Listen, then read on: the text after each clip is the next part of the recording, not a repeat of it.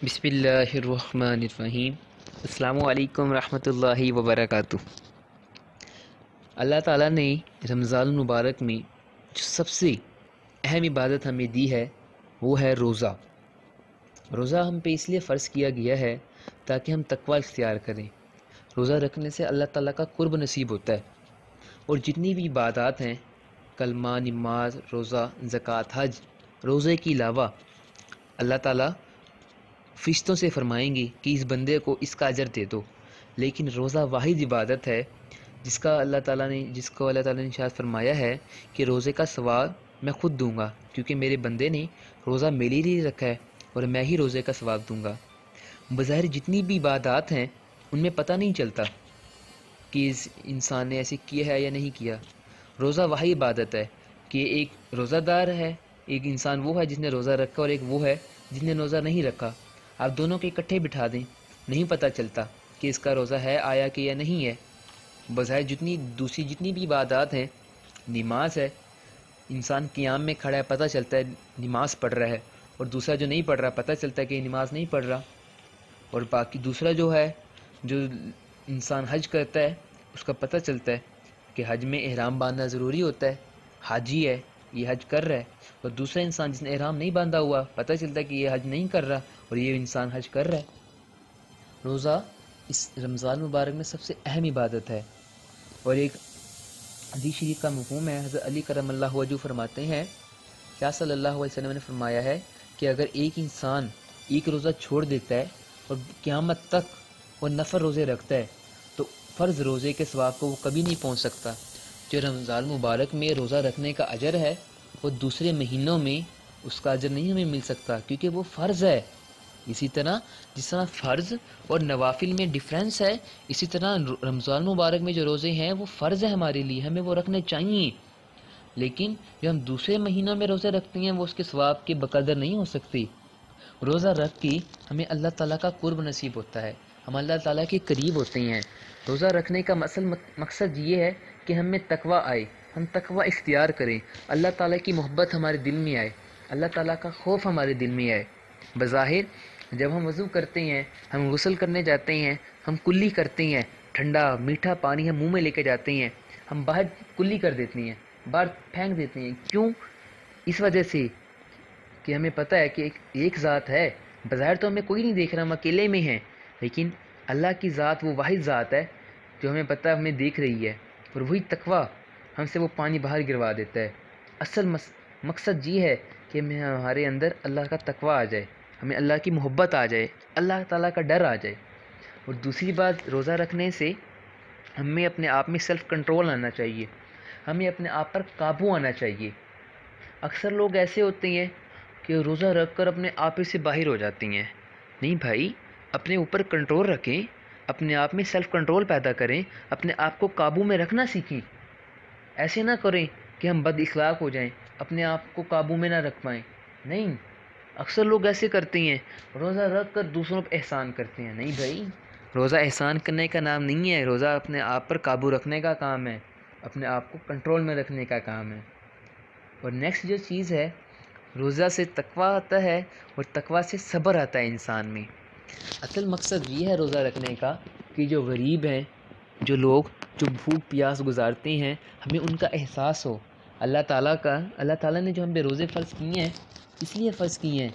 ये नहीं कि अल्लाह ताला के रिस्क में माज़ल्ला नाउज़बिल्ला कि अल्लाह ताला के रिस्क में कमी है, रमज़ान में अल्लाह ताला के रिस्क ख़जानों में कमी आ जाती है। नहीं, असल मकसद ये है कि हमें दूसरों की तड़प हो, दूसरों के लिए एहसास पैदा हो, कि दूसरे जिस तरह लोग गुजारा करते हैं, गर्मी में काम करते हैं, गर्मियों में प्यास, भूख बर्दाश्त करते हैं, वो बर्दाश्त हमारे अंदर भी है। दूसरों के, दूसरों का एहसास हम अंदर पैदा हो, दूसरों के लिए सब्र हो और सब्र करें हम, तकवा इख्तियार करें, सब्र करें कि हमें पता चले कि लोग सब्र कैसे करते हैं, जब उनके पास कुछ नहीं होता।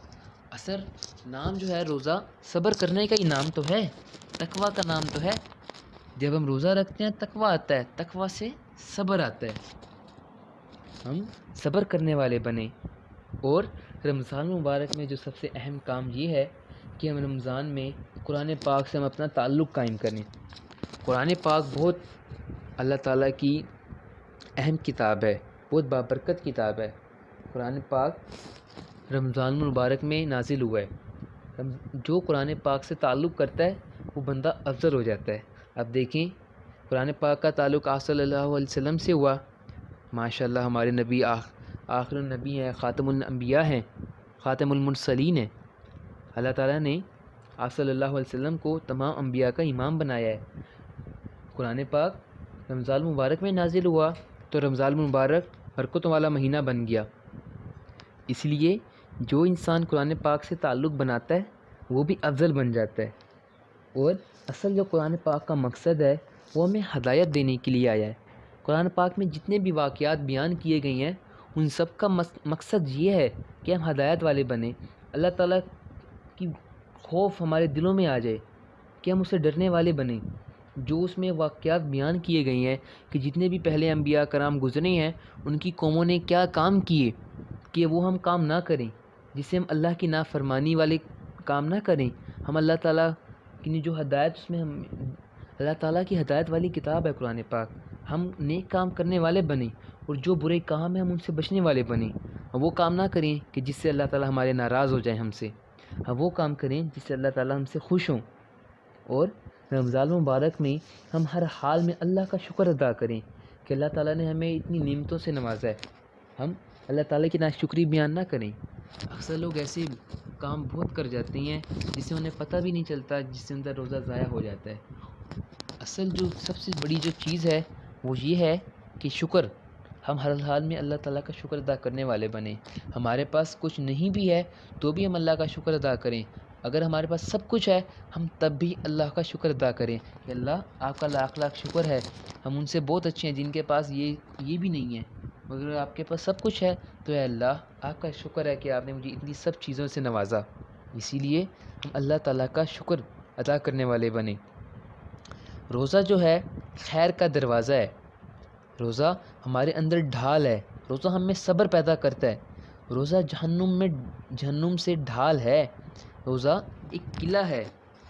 रोज़ा जो है, असल जन्नत की आठ दरवाज़े हैं और उसमें से एक दरवाज़ा वो है जिसमें सिर्फ़ रोज़ादार दाखिल होते हैं। रोज़ा खैर का नाम है। रोज़ा दूसरों के लिए खैर ख्वाही का नाम है। हम दूसरों के लिए आसानियाँ पैदा करें। रोज़ा रख के यही नहीं कि हम सिर्फ़ अपने लिए सोचें। हमारे अंदर दूसरों के लिए जज्बा आता है। दूसरों के लिए खैर ख्वाही का जज्बा आता है। और रोज़ा ढाल है। रोज़े से हम में बर्दाश्त पैदा होती है, सब्र पैदा होता है, तकवा आता है। रोज़ा रख कर रोज़ा हमें जहन्नुम से बचाता है। एक हदीस शरीफ का मुफ़्त में जो इंसान रोज़ा रखता है वो सत्तर गज़ ज़मीन और आसमान जितना जहन्नुम से दूर हो जाता है, जो इंसान एक रोज़ा रखता है। अब देखें, अगर हम तीस रोज़े रखेंगे और जितनी हमारी उम्र है, अगर हम इतने रोज़े रखेंगे हम कितने हाथ दूर जहन्नुम से दूर हो जाएँगे। लेकिन इसमें जो सबसे मेन जो चीज़ एक शर्त है, वो नीयत की है। हम नीयत से रोज़े रखें। दिखावा ना हो उसमें। नीयत हो उसमें कि हमारा अल्लाह हमसे राज़ी हो जाए। और जो रोज़ा है, वो किला है कि अल्लाह ताला किला बना देते हैं इंसान का। जन्नत में महल बना देते हैं कि इंसान ने रोज़ा रखा है। और दूसरा, जो भी हम रोज़ा इंसान को जहन्नुम से दूर कर देता है। एक हदीस शरीफ का मफहम है कि जो इंसान अखलास नीयत से रोज़ा रखता है, दिन में रोज़ा रखता है, रात को क्याम करता है, तरावी पढ़ता है, अल्लाह ताला की हम तो सना बयान करता है, ज़िक्र असकार करता है, कुरान पाक की तलावत करता है तो अल्लाह तबारक व ताली उसके पिछले सारे गुनाह माफ़ फरमा देते हैं। रोज़े से हमारे सारे गुनाह माफ़ हो जाते हैं और हम रोज़ा रखें तो नीयत से रखें। उसमें रयाकारी ना हो उसमें दिखलावा ना हो। उसमें हम ये ना हो कि दूसरा ये कहे कि वाह भाई वाह, ये तो रोज़ा रखने वाला है। हम इसलिए रखें ताकि अल्लाह ताला हमसे राज़ी हो जाए। इसमें किसी की रयाकारी ना हो। हम दूसरों को राज़ी ना करें, दूसरे इंसानों को राज़ी ना करें, बल्कि इसलिए कि हमारा अल्लाह हमसे राज़ी हो जाए। रमज़ान मुबारक में जो रोज़े का अक्सर मकसद ये भी है कि हम फ़राइज़ का अहतमाम करें। जब हम फ़राइज़ कायम करते हैं तो इसका मतलब ये है, अक्सर मकसद ये होता है कि हम अल्लाह का कुर्ब हासिल करते हैं और ये कि हम अल्लाह ताला के करीब हो जाते हैं। फ़राइज़ जब हम रोज़ा रखते हैं तो फ़राइज़ का हम कायम करते हैं, हम नमाज़ नहीं छोड़ते, हम कुरान पाक की तलावत करते हैं, हम तमाम फ़राइज़ बाकायदगी से कायम करते हैं। जब हम फ़राइज़ कायम करते हैं तो हम अल्लाह ताला के करीब हो जाते हैं, हमें अल्लाह ताला का कुर्ब नसीब होता है। और दूसरी बात ये, अगली बात कि रोज़ा रख कर हम अल्लाह ताला का ज़िक्र करें। हम अल्लाह ताला के ज़िक्र करने वाले बने, हम आदि बने अल्लाह ताला के ज़िक्र करने वाले के। ऐसे ना हो कि हम फजूल लगवियात में, फजूल बातों में अपना वक्त ज़ाय कर दें। नहीं, बरकतों वाला महीना अल्लाह ताला की हर वक्त बरकतें, रहमतें, नेमतें नाजिल होती हैं। हम अल्लाह ताला का शुक्र अदा करें, अल्लाह ताला का ज़िक्र करें। और रमज़ान मुबारक में सदका खैरात करने वाले बने। और दूसरों को भी तरगीब करें नए काम करने की।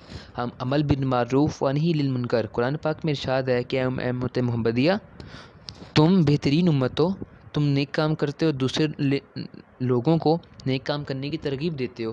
तुम खुद भी बुरे कामों से बचते हो और दूसरों को भी बुरे कामों से बचने की तरगीब करते हो। हम खुद भी नेक काम करें और दूसरों को भी बचाएँ उससे। हम खुद भी बुरे कामों से बचें और दूसरों को भी कहें कि भाई ये बुरा काम है। हम रमज़ान मुबारक में ज़्यादा से ज़्यादा सदका और खैरात करने वाले बने और दूसरों को भी तरगीब करें। और हम रमज़ान मुबारक में सदका करें ताकि उससे दूसरों की मदद करें। हम दूसरों की तरगीब भी करें और अच्छी बात बताना भी एक सदका है। सदका आज अक्सर लोग ऐसे समझते हैं कि सिर्फ़ पैसे का नाम सदका होता है। नहीं भाई, सदका आप नेक काम अगर किसी को, आप नेक बात किसी को एक बात बता भी देते हैं ना कि भाई, ये काम ऐसे नहीं है, ये ऐसे है। आपने उसको सही तरीके से आपने इसलाह कर दी, ये भी एक सदका है। आप रास्ते से जा रहे हैं, कोई नुकसानदेह चीज़ थी, कोई पत्थर था, कोई ईंट थी, कोई छिलका था जिससे लोगों का पाँव फिसल जाता, आपने वो साइड पे कर दिया तो ये भी सदका है। हर नेक काम सदका है, चाहे वो छोटा काम है, चाहे वो बड़ा काम है। और ये बात भी है, अगर हम दूसरों को पैसे देते हैं, दूसरों की मदद करते हैं, ये तो सबसे अफजल तरीन सदका है कि दूसरों की, दूसरों के दिलों से जो दुआ निकलेगी हमारी उसकी वजह से, हमारी मदद की वजह से। तो यकीन करें, अल्लाह ताला हमारी दुनिया भी बनाते हैं और आखिरत भी बना देंगे। और जो रोज़ा इंसान रखता है ना, वो जहन्नुम में नहीं जाएगा, क्योंकि अल्लाह ताला का इशाद है कि सात लोग क़्यामत के दिन अल्लाह ताला के साय के नीचे होंगे, अर्श के साय के नीचे होंगे। और उसमें एक इंसान वो भी होगा, जो सदका करने वाला होगा और रोज़ा रखने वाला होगा। जैसे हमने अभी फरमाया कि जन्नत में आठ दरवाजे हैं और उसमें एक दरवाज़ा ऐसा है जिसमें सिर्फ़ रोज़ादार दाखिल होंगे। और क़्यामत के दिन अल्लाह के साय के नीचे वो इंसान भी होगा जो सदका करता होगा। रोज़ा गुनाहों से बचाव है। रोज़ा से हम बुरे कामों से बचते ही हैं। हमें ये पता होता है कि मेरा अल्लाह देख रहा है। और जब हमारी एक रूटीन बन जाती है, हमारी एक प्रैक्टिस बन जाती है, प्रैक्टिस हो जाती है हमारी, जब हम पूरा एक महीना, तीस दिन हम रोज़ा रखते हैं तो हमारी एक प्रैक्टिस हो जाती है कि नहीं मैं ये काम नहीं करना, मैं ये ऐसे नहीं करना, मैंने गिबत नहीं करनी, मैंने झूठ नहीं बोलना, मैंने बुरे काम नहीं करने, मैंने नमाज़ नहीं छोड़नी। अब जब हमारी एक रूटीन बन जाती है तो बाकी दिनों में, गैर रमज़ान में, दूसरे महीने भी हम उसको फॉलो करते हैं, ताकि हम बुरे कामों से बचें, हम अल्लाह को राज़ी करने वाले बने, और इस तरह हम गुनाहों से बचाओ है रोज़ा। असल गुनाहों से बचाओ का नाम ही तो है रोज़ा। और ज़ुबान को बुरे कामों से हम रोकें अपने रमज़ान मुबारक में हम अपनी ज़ुबानों को बुरे अलकाबाज से, बुरी बातों से रोकें। हम झूठ ना बोलें, उससे गिबत ना करें और ज़्यादा से ज़्यादा हम रमज़ान मुबारक में अपने गुनाहों की माफ़ी मांगें। हम आफ़ियत की दुआएँ मांगें। हम दूसरे लोगों के लिए, यह है कि जो दुआ हम दूसरों के लिए करते हैं, वो पहले हमारे हक़ में दुआ कबूल होती है। हम इसीलिए हम नेक दुआएँ करें।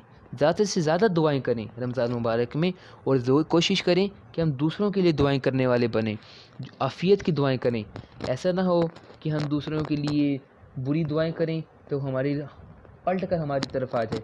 अब जब हम दूसरों के लिए आफ़ियत की दुआ करेंगे तो पलट कर वो हमारे लिए आफ़ियत, हमारे लिए दुआ आएगी वो, हमारे लिए आती है पहले वो पलट कर।